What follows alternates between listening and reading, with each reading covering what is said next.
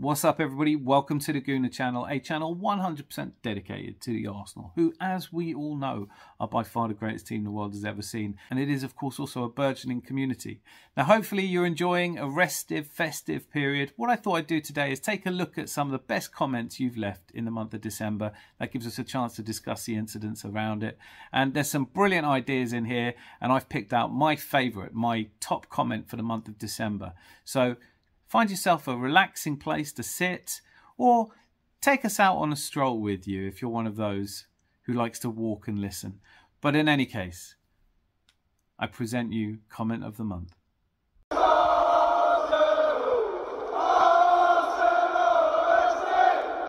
First one on the list uh, from early in December from the video that I put out, uh, which was Have Villa Killed Arsenal's Title Hopes Obviously, I don't. I didn't think and don't think they did. Um, but you do get a lot of people who just kind of read the title and leave a comment. I'm not sure if I'm being unfair to St James Hawk 3861, who going forward will just be St James Hawk. Um, we only have one on this channel so far. Now, he says, no one can claim that they've lost or won the title in December, dude. I'm a Liverpool fan, but I strongly believe the City is still a force to be reckoned with. Every team in a top six spot still has a chance to go for the title, even Man U. We're only 16 games into the season and with 22 more to go. Anything could happen. Chill. Love him. I, well, I am chill, to be honest with you. I am really chill, and I'm even more chill after the game against Liverpool. Um, I think it's really sensible words. Now, I know it's uh, kind of misinterpreting my message a little bit, but um, I do agree that no one can claim to have won or lost the title in December. And I still believe also that City are a force to be reckoned with. Of course they are. I think you're absolutely right. Every team in the top six spot still has a chance to win the title. I probably disagree with. I think we're looking at. Um, I don't think Aston Villa have enough about them to go a whole season. I think they'll have the same problems we did. I don't think that uh, Liverpool will be able to cope without Mo Salah in January, and they could experience a bump. You know, teams like Spurs and Brighton, I just don't see winning the title.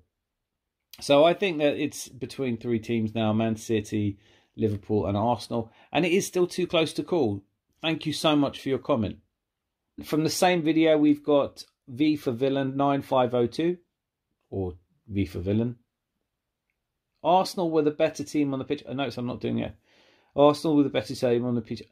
I'm not going to do the accent for this one. It's um, Arsenal were the better team on the pitch. Villa looked tired after the intensity of the midweek Man City game. I was surprised that we went with the same starting 11. It was not a comfortable watch for me at all, and I just felt relief at the final whistle. Sure, you can argue individual decisions in any game. I do think that we got lucky, but then we were unlucky against Wolves and Bournemouth not to get key decisions our way. It's just the way it is, and VAR hasn't changed that. Have Villa killed Arsenal's title ambitions? No, not at all. It's between the current top four, and it's just going to be a matter of who has the stronger squad. In my opinion, Arsenal lack the firepower to win the league. I would not want any of Jesus, Nketiah, or Havertz in the Villa squad. Anyway, good luck. See you again in April, UTV. Thank you so much. Great comments. Uh, again, a lot to agree with there. Starting off with Arsenal with the better team on the pitch, I think it's always great when you're a fan who can be as objective as that about it. I don't think there's any denying that we had the more you know the field tilt and we had the intensity, but we just couldn't make it count. I do think that Villa looked tired after the intensity of the midweek Man City game. Um, you were surprised you went with the same starting eleven. I wasn't, to be fair. It was, I can understand, not a comfortable watch for Villa fans, but it wasn't a great watch for Arsenal fans either. Um, maybe for the neutral. Sure, you can argue individual decisions in any game. I do think that we got lucky, but then we were unlucky against Wolves and Bournemouth not to get key decisions our way. I just think you know VAR is a problem for everyone. Like every everywhere you look, people have a problem with it, and I see it hasn't fundamentally changed football. What it's changed about it is how we feel when decisions go against us. Honestly, because we've had longer to look at them and make our mind up. And I know that you can't agree on every decision, but VAR seems to disagree with the vast majority of most football fans on in some of its decisions. That doesn't make sense. It's probably not the place to talk about it. Um, but have Villa killed Arsenal's title ambitions? No, not at all uh, it'll be between the current top four. So I agree with that. I, but I, again, I don't think it'll be four. I think it Villa will not make it all the way through. It's going to be a matter of who has a stronger squad, and I don't think Villa are up there. But I also think they're going to struggle with the same sort of pressures that we did last season, and that's really difficult, uh, especially for a team that hasn't been near that yet. I mean, you have to give huge credit to Unai Emery for what he's done at Villa. There is something that does occur to me though, and that is how is he going to deal with it if they have a few bad results? Because he looked really crestfallen after the Sheffield United game. He made a big deal out of how great the players had done, but I think he was disappointed. And they they're the sort of games that happen to teams when the pressure starts to, to set in. As I said, we know all about that as Arsenal fans. If Arsenal can't win it, then I would like to see Villa win it. I'd, I'd say that because um, Liverpool, that would be frightening um, that he could put a midfield together like that and go again. And with all the challenges they're going to face, I think that would be an enormous achievement by Jurgen Klopp. And I'm not saying he's beyond it. Uh, and no one wants to see Man City win four in a row, do they? Uh, so, yeah, great comment. Thank you very much. V for villain. And now, if you want a highbrow comment, you can always rely on East End Apartment. And he says, uh, as they say in Pentecostal circles, there just wasn't an anointing. Squad, Kiwior needs minutes to sharpen up, so the jury's out on him. Eddie under the decking with him. Arteta is too stubborn in his selections. I do feel that, or I worry about that. I worry that Arteta is too stubborn in his selections. As for there just wasn't an anointing, I'm not familiar with that expression, um, but it's evocative, and I think I know what it means. And um, I'm going to go and have to look that up. But Kiwior needs minutes to sharpen up. I think. I think it might take more than minutes with Kiwior. I just don't think that Arteta has seen enough in him either. Physically, he is a fantastic defender. Um, maybe he's having trouble with the tactical side of things, and maybe it's just going to take him a bit longer. Alone, if that's the case, doesn't seem like a good idea. Maybe we will sell him, but I think we do need more cover before we even think about that. Those comments were from the video Have Villa killed Arsenal's title ambitions? And um, no, they haven't. And that's uh, something that I think we all kind of agreed on. Arsenal make significant bid for next Neymar Brazilian wonder kid. Oh, that rhymes. I didn't even know that then. Um, genius. Look at this. Con- this content is just genius. Video itself is about the speculation that since Santos have been relegated for the first time in their history, their Brazilian wonder kid striker uh, Marcos Leonardo. And so the first comment is from uh, Boss Bubbler. Now, in the video, I go on to say that I'd really like to see us sign him. He looks brilliant. And so I asked a question in the comments I'm excited by this. Are you? And Boss Bubbler says, Of course I am. But it's with a question mark. So I guess it's, Of course I am. But will Arteta go for him? Or is it just talk? Look, Edu is big in Brazil, so he should have no problem getting the player if he wants him. Come on, you Gunners, Gunners for life. Um, and yeah, I'm excited. I mean, look, I don't know. Honestly, my gut is telling me we're probably not going to sign him, but I just wish we would, because I think he would be the kind of unsettling player you throw in at the end of a season. And Edu does have huge pull in Brazil.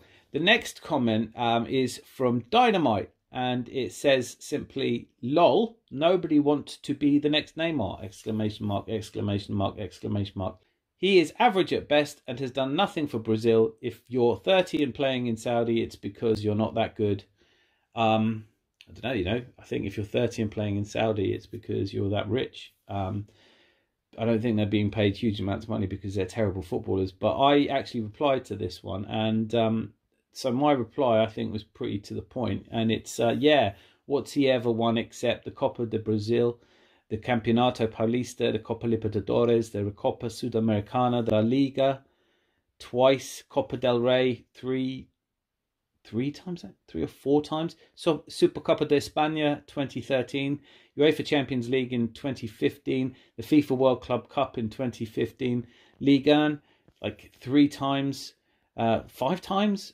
uh, Coupe de France so many times, uh, Coupe de Liga, Trophy de Champion, and FIFA Confederations Cup. Yeah, so he's a terrible footballer. Um, thanks for being a bit mental. See, not all of the comments you get on this are great comments. Next video was Arsenal need a striker, rant, rant in bold, exclamation mark, and all in capitals, like I'm shouting it. And it's basically me being triggered by the constant chat that we need a 20 goal a season striker to win the league. It's the video is a rant. It goes on about why I think that's absurd and who, in fact, this 20 goal a season striker is. Essentially, one of the things that triggered me was people saying we need a 20 goal a season striker. And I suddenly realised, it doesn't everyone. I mean, Erling Haaland is one, Man City have one. Um, Harry Kane was the only other one last season because I don't think that Ivan Tony scored 20 goals a season. I think he scored 19 because the goal he scored against us shouldn't have been allowed. But even if he is one of only three people who scored 20 goals a season, then surely at least 18 teams need a 20 goal a season striker. It's not just us. Um, but I got the comments, some of the comments I got, one of them I want to go over. Uh, oh, yeah, here's William Bergamo said, brilliant video, well articulated. And of course, I fundamentally agree with that. Um, listen, it's shameless self promotion, you know, if I don't do it. But um, I did just want to highlight Thiers Nusson, um, who to the title, What's the Hold Up? I wrote a comment saying, Just sign a $20 season striker. What's the hold up? And he wrote, The hold up is it's December and and I replied, "I'm guessing you didn't get that I was being sarcastic." And he wrote, "Fair play, fair play. I'm just used to combating delusional fans."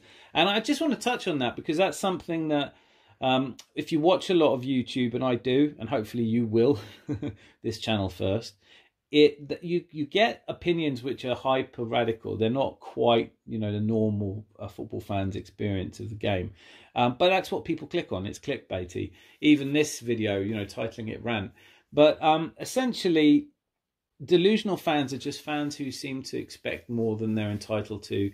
Uh, loudest Arsenal fans are the ones that are angry with Arteta because he hasn't won us the Champions League yet.